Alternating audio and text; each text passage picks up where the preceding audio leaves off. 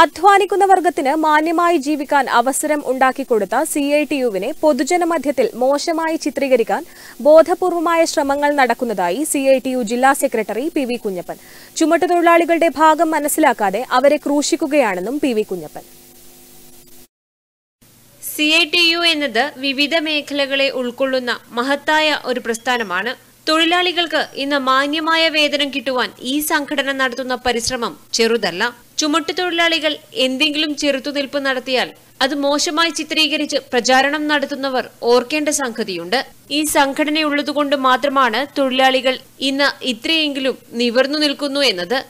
ഇത്തരത്തിലൊരു സംഘടനയാണ് പൊതുജന മധ്യത്തിൽ മോശമായി ചിത്രീകരിക്കാൻ ശ്രമിക്കുന്നത് എന്നും പി വി കുഞ്ഞപ്പൻ പറഞ്ഞു. തൊഴിലാളികൾക്കെതിരായിട്ട് പ്രത്യേകിച്ച് ചുമട്ടുതൊഴിലാളികൾക്കെതിരായിട്ട് വ്യാപകമായ നിലയിലുള്ള ദുഷ്പ്രചരണങ്ങളാണ് പത്രമാധ്യമങ്ങളും ചില ദൃശ്യമാധ്യമങ്ങളെല്ലാം നടത്തിക്കൊണ്ടിരിക്കുന്നത് നമുക്ക് കാണാൻ വേണ്ടിയിട്ട് സാധിക്കും എന്നതാണ്.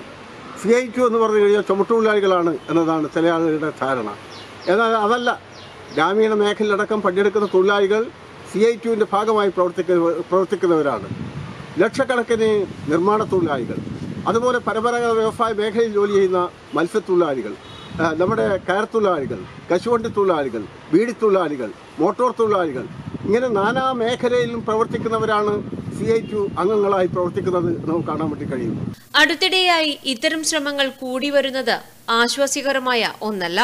നാളിതുവരെ നേടിയതെല്ലാം ഇല്ലാതാക്കാൻ ശ്രമിക്കുന്നവരെ കരുതിയിരിക്കണമെന്നും അദ്ദേഹം കൂട്ടിച്ചേർത്തു. News bureau Payyanur.